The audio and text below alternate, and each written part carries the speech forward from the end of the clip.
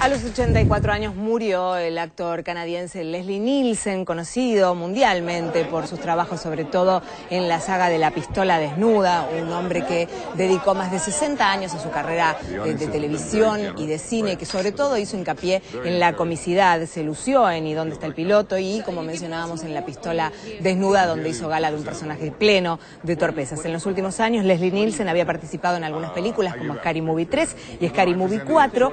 Eh, dice en los reportes de prensa que eh, se encontraba internado desde hacía 12 días. Murió Nielsen víctima de una pulmonía con complicaciones.